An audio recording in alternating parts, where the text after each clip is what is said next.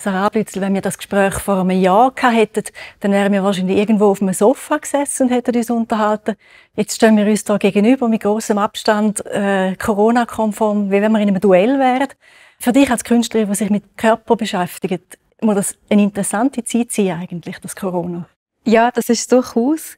Für uns ist es natürlich sehr spannend, auch jetzt die aktuelle Situation zu beobachten. Uns interessiert grundsätzlich Körper auch immer als Körperarchiv. Vielleicht an dieser Stelle auch, ich, ich rede immer von mir, weil wir als Duo arbeiten. Das sind ich und der Marko Mijatovic. Also wir arbeiten mit dem Gedanken, dass sich Erfahrungen im Körper abspeichern und mit uns eben mitkommen und weitere Interaktionen prägen. Uns interessiert, ob, ob die Regeln, die wir jetzt auch ähm, alle erfahren und eingelernt haben, dass die standhalten, die Angst vor dem anderen, ob man die Angst und die Vorsicht wieder ablegen können oder wie lange das in uns eingeschrieben bleibt. Was ich sehr spannend finde zum Beobachten ist, ist auch die Verunsicherung.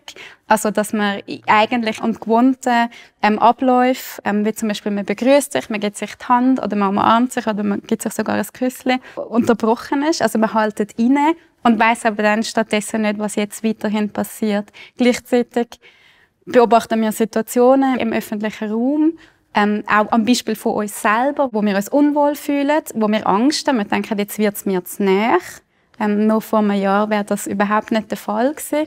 Und man den anderen eigentlich auch ähm, eben als Bedrohung empfindet und ganz viel schneller das Gefühl hat, die Grenze wird überschritten.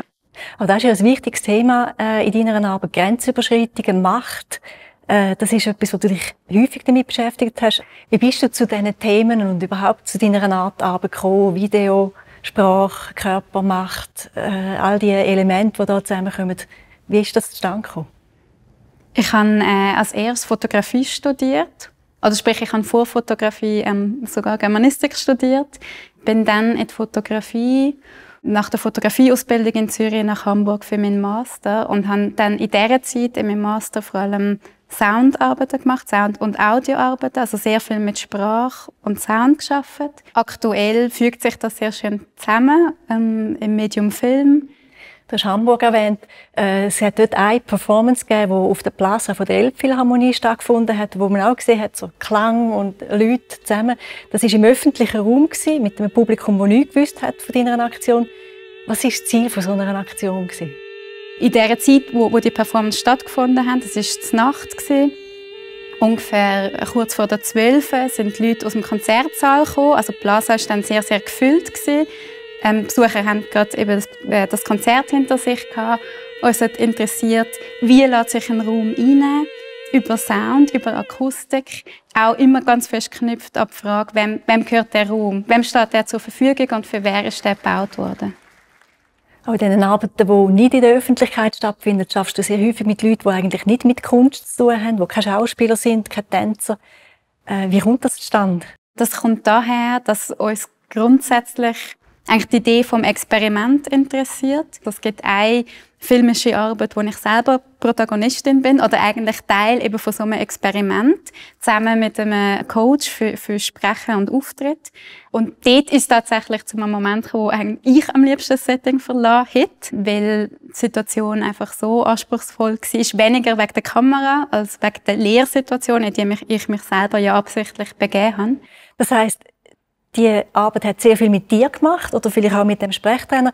Was erwartest du, was so etwas mit dem Publikum macht? Also was, was soll das Publikum mitnehmen, wo deine Videos oder deine, deine Arbeiten schaut? Genau, ich denke jetzt gerade an unsere neueste Arbeit, die heißt Survival Mode und ist jetzt gerade im Kunstmuseum in Winterthur zu sehen. Dort geht es uns eigentlich darum, ein bestimmtes Gefühl zu transportieren. Die Arbeit ist dominiert durch das Gefühl von Beklemmung und durch Angst auch vom, vom Gegenüber. Es geht uns darum, das Gefühl zu transportieren, aber auch eigentlich die Erfahrung, die wir mit dem Team während der Arbeit gemacht haben, in dem Setting, das wir ähm, erstellt haben.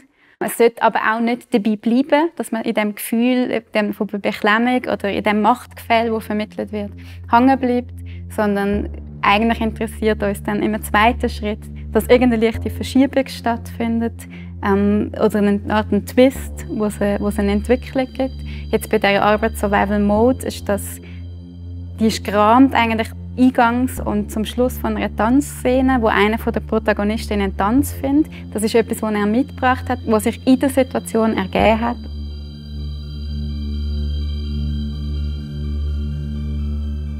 Er findet den Tanz und das ist das Ende der Arbeit und ist eigentlich eine Art Befreiung oder auch ein Abschütteln von dem Gefühl, von dieser Beklemmung.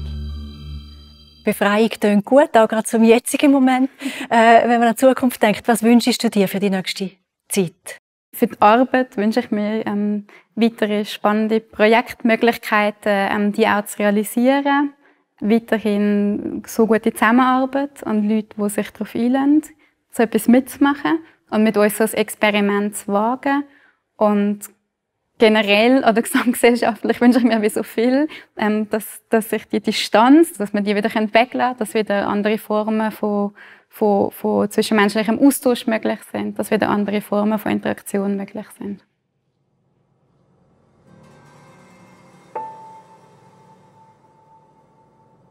In ihren Arbeiten beschäftigt sich Sarah Hablützel oft mit dem Zusammenwirken von Körper, Sprache und Macht. Das macht sie sehr vielschichtig und äußerst sensibel. Sie sucht auch immer wieder neue Blickwinkel oder alternative Erkenntniswege. Ihre Werke sind installativ und ortsbezogen. Und nebst Performances und Soundarbeit schafft sie vor allem mit dem Medium Video. In ihren Grundhaltungen und Themensetzung ist sie sehr aktuell und verfügt, nach Ansicht vom Winterthurer Stadtrat, über ein sehr grosses Potenzial. Es ist mir eine sehr grosse Ehre, Sarah Hablützel im Namen vom Winterthurer Stadtrat den Förderpreis der Stadt Winterthur 2020, dotiert mit 10.000 Franken, zu übergeben. Ganz herzliche Gratulation.